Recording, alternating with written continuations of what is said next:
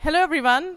I'm Yasemin. I'm delivering from EBEC Final 2014. This is the second working day, and I'm with Victor from Topic Group. He's going to give us the updates about today's task. Hello, Victor. Hello, Yasmin. Uh, basically, today's task of the case study is that tallest building in the world, the Kingdom Tower, is being under construction right now.